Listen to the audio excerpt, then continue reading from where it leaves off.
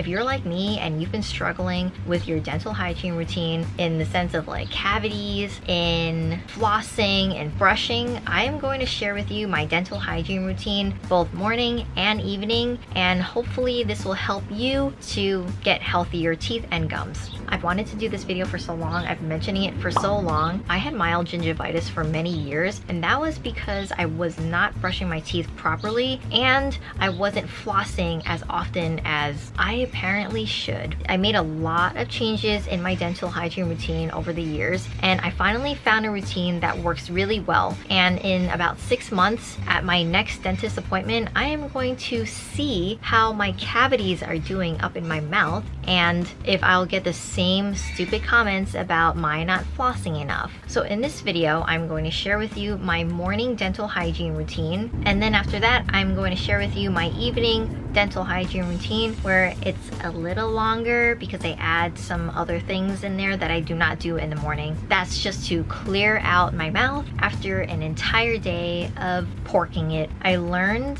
that if you don't take care of your teeth, it can actually get so bad that you can die from like having really, really bad problems. Your teeth are in your head basically. Anything that you have and you don't take care of, it will affect your brain. So I'm telling you, if you haven't started a really good dental hygiene routine and you have a lot of problems like I do, then you really need to start one. This obviously is not for those people who don't really brush, who don't really floss, and yet when they go to the dentist, they have no freaking problems. This is for people who have a lot of problems yet they work so hard at keeping all the problems away. So here's my setup in the bathroom for all my dental stuff. I have a piece of paper towel that my mom actually put over this soap dish. I have my tongue brush here, which I like to put on the side here. A medicine cup that you'll see me use later on at night for mouthwash. I have my Waterpik thing here. Oh, this is not a dental thing. This is like my eye wash cup. Just put it in here.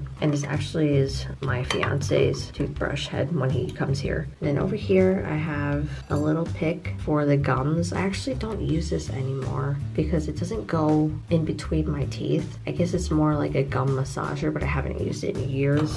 And this one is to brush my retainers at night because of all the calcium that gets stuck there. This is a retainers cool thing, like a little machine. It's battery operated. It came with this little container for your retainers and tablets that clean the retainers. So you would put your retainers in here, put water in here, drop the tablet, close it, turn the machine on with the switch and it would just vibrate and then turn off. But I haven't used this in a really long time and I haven't bought tablets because I actually use vinegar. This is just 100% white vinegar and I got this idea from Google and it works really, really well. I have it underneath the sink and I also put my cup here that I use. I actually should be using a reusable cup but my mom bought so many of these like Dixie cups and we have the dispenser here. So I just put it over there so it can drain and dry overnight.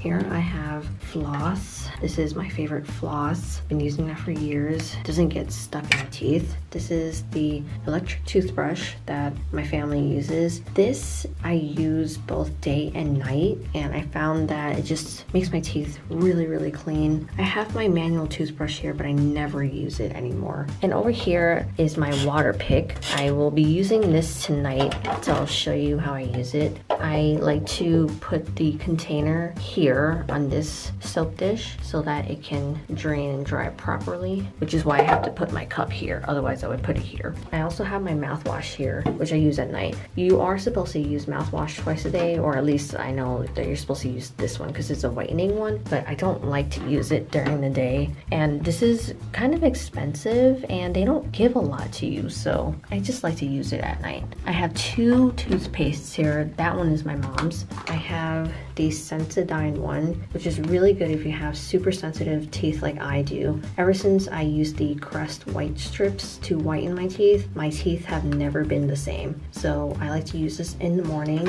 and I'll talk about this toothpaste at night when I use it. All right, so this is my routine. So this is my routine. I take the container for my retainers and I just push the retainers out. And I take the vinegar, just a little bit, And then I fill it up with water, just enough to cover the retainers. And I just leave it here until night when I come back to it. And you wanna always use cold water when you're cleaning your retainers. Hot water will definitely ruin it. And this is a little pencil and this is a little pencil sharpener that my mom used. I think it was mine a long time ago, but we put it here on this soap dish and this holds our toothbrush heads. Well, at least my dad's, mine, and these are my dad's Waterpik things. This is mine. If you don't know what these are, this is a Steripod. I don't think you need these unless you are living with somebody who doesn't flush with the toilet seat down, all right? Because toilet water splashes very far. Put it on, and I take my Sensodyne toothpaste, and I missed, it's cool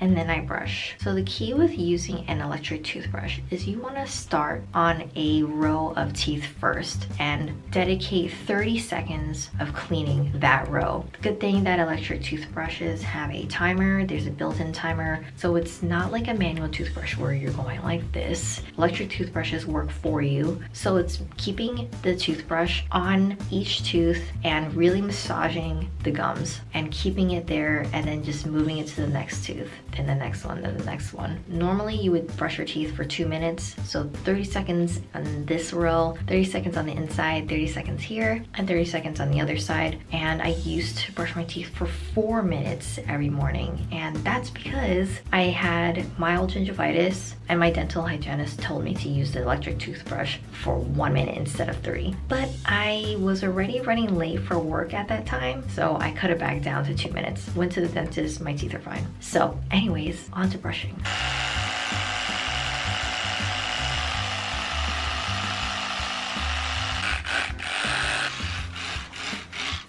Okay, so that signaled that the two minutes is over. So now I'm gonna rinse my toothbrush head. Tip for rinsing your mouth with water after that is to always use lukewarm water because cold water obviously really shocks our mouth and it really hurts, makes our teeth like feel really, really sensitive. With the toothbrush head, if you do use a Steripod or you do decide to use one, you have to make sure that your toothbrush head is dry before you put it on, otherwise it won't dry properly. So what I do is I have my towel here and I just pinch it into the towel and it's pretty much dry. Another tip for rinsing your mouth is you really want to gargle properly. I'm really lazy with gargling because I just want to get it over with. And sometimes I use too much toothpaste and my whole mouth is on fire. But gargle properly because you obviously want to get all the toothpaste out of your mouth. This is a stainless steel tongue brush, so it will last for a very, very long time. And it has, it's very easy to clean. All you got to do is just rinse this after every single use. I use this twice a day and I definitely use this in the morning because of that disgusting morning breath. So you always want to be gentle when you use a tongue cleaner because your tongue has taste buds, it's very sensitive, and you can't actually destroy some of your taste buds if you're really, really aggressive. So I like to start at the back of my tongue, try not to choke myself, which happens a lot, and move forward and spit. And that's it because the Waterpik container is now fully dry and drained, I'm gonna put my cup here. That's basically for my morning dental hygiene routine. I'll see you guys at night for my nighttime dental hygiene routine. Also part of my daily dental hygiene routine is flossing after every single meal. And I mentioned this in my favorites video. I will link that in the description box for you to check out if you're interested in knowing what I really loved for the month of May. But because I get cavities quite often, I make make sure to floss after every single little thing that I eat. In this container that I keep on my desk under here, I have a handheld mirror and over here I have the floss picks. These are the floss picks that I've been using for about two weeks now and I love them. They're very easy for me to use and these are really nice for taking out with me when I go out to eat. So I will literally sit here at my computer desk and after I eat I will hold my handheld mirror here, have a napkin here, and just floss. By the way, if you don't know how to floss correctly, you want to shimmy the floss in between your teeth and make a side-to-side -side motion so that you are ensuring that you're getting all the gunk out. and you just want to pull down after that. If you're too aggressive with flossing, that's why the floss gets stuck I just wipe the food off the floss when there is food on it so that I don't put it back in between another two teeth. And if you're wondering if I go back into the bag and grab more floss picks throughout the day, I'm gonna be honest with you guys. I am disgustingly cheap and I'm also disgusting. No, I don't.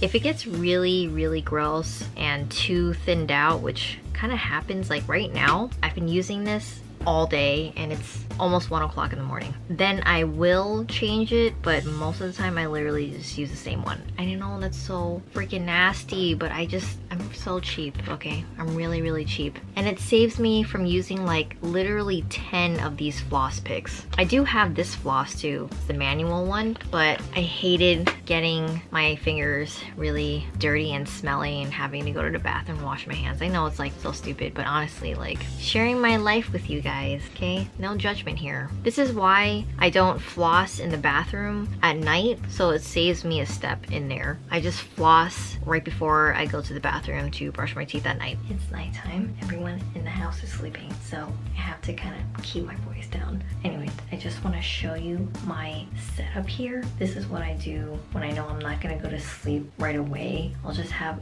all of my dental stuff laid out for me. So when I go to the bathroom, when I'm ready to go to bed, I have it all there. Here's an overview. I have the Waterpik here. I have my toothbrush and toothpaste ready to go. I already dumped out the water from my retainers and put more water in there. Always want to make sure that your retainers are wet. I have my mouthwash here, my little medicine cup, and my tongue brush. Oh, and this is so crazy, but I actually poked a hole in this paper towel and used the little gum massager here to hold up the paper towel, just so the paper towel doesn't get wet when I put stuff back in there. Let's get to doing my dental hygiene routine for the evening. This is the Crest 3D White Whitening Mouthwash. This is my favorite mouthwash. I feel like it really does keep my teeth bright and a little bit on the white side. I use a medicine cup to help me measure out how much mouthwash you're supposed to use every single time and it's two and a half teaspoons. So with the Waterpik, if you've never used one before, has a container that you fill up with water and again I recommend that you use lukewarm water. So I fill it up about halfway. You really don't need that much and then just put it back in here and put this lid down. On the Waterpik, you have the power button here and this button where you can choose if you want to floss or if you want to massage the gums. I never use the massage, I just use the floss. This is not a replacement for floss, by the way. It's really important that you do floss your teeth. I just like to use the Waterpik to help me to massage the gums and make sure that every single morsel of food is out of my teeth. Over here on the bottom is a dial and that determines the strength at which the water flow comes out of the Waterpik. So I like to keep it at five any more than that and it will seriously hurt my gums. Here is the on and off to allow the water to come out of the spout and this is a lever that you push up to release so that you can properly dry it or somebody else can use theirs. I'm gonna plug it in first. What I like to do is I like to just hold it in between my teeth and just go like that. It runs for a minute so you do 30 seconds on the top and 30 seconds on the bottom.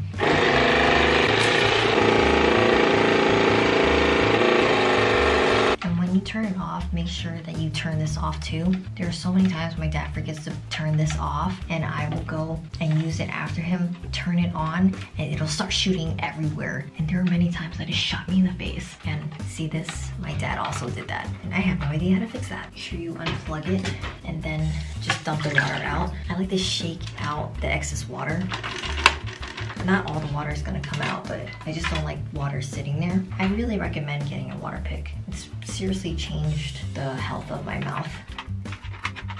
Just like to wrap the wire around it and put it back. Now on to brushing my teeth. I use the Crest 3D White. I am kind of not into natural toothpastes yet.